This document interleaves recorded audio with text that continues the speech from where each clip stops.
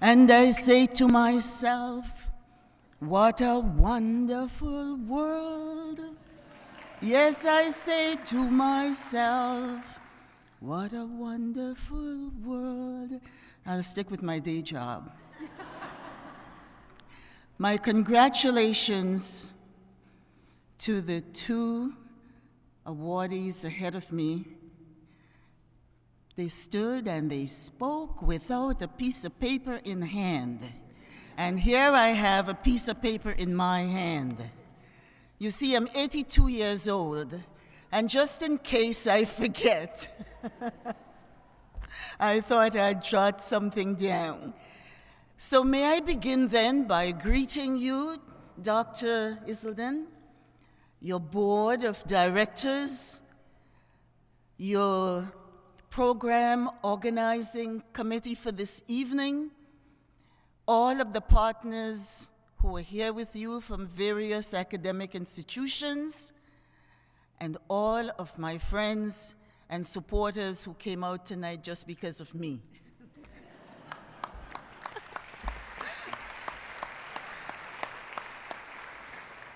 I want to also celebrate all the scholars and all those who've received awards from Daughters for Life. The, the women, the young women who were on stage this evening presented themselves so well. And I sat there thinking that our future is assured. And what you're doing needs to continue to expand, to extend, and to have everyone recognize the talent, the skills, and the potential that there is if we give opportunities to young people wherever they are in the world.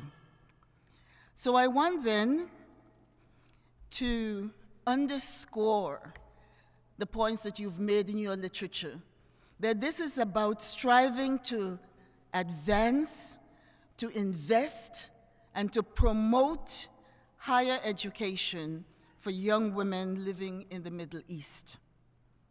So, in accepting this award, and because it's called the Trailblazing Award, I accept in the memory not only of your daughters and relatives who've gone, but also in the memory of women who've blazed trails before me. Mary Joseph Angelique, whose history is indelibly scarred in the city of Montreal. Rose Fortune, the first black policewoman anyplace in North America. Mary Ann Shadd, the first black woman newspaper publisher. Harriet Tubman, who escorted and walked thousands of miles on the Underground Railroad. And more recently, we acknowledged Viola Desmond, who refused to give up her seat in a cinema here in Canada, in Nova Scotia. Many worthy women have preceded me on the trail, but only in Canada can a story like mine be realized. Start from the bottom, work your way and work your way to the top, and become not only a Canadian citizen, but also through hard work resilience, community service, and support become the messenger and the message of Canada. So thank you for this recognition. In this room tonight, we are witnesses to a unique understanding of just what overcoming adversity looks like. Listen to the story of our first recipient. We know that it involves discipline and hard work and conviction, and it is the responsibility of each and every one of us to, spoke, to stoke that for our young people. At the Jean Augustine Center, which was, which was mentioned in my bio, we say that an empowered young woman can improve her life and have a positive effect on the world around her. So we're uh, committed to building self-esteem and self-worth of young women and girls by positively influencing their outlook on life, broadening their horizons, and helping them to empower themselves. Because this is what it's all about, and this is what Daughters for Life, and this is what our involvement with you this evening is about. But before I end, I want to just set out a few things that I learned, and I call them my grandmother's sayings. You cannot change the direction of the wind, but you can certainly adjust your sail. And this is what you did, and this is what Miss Corduron did. You adjusted your sail because you realize you could not change the direction of the wind. The other, she said, when opportunity knocks, you must be ready.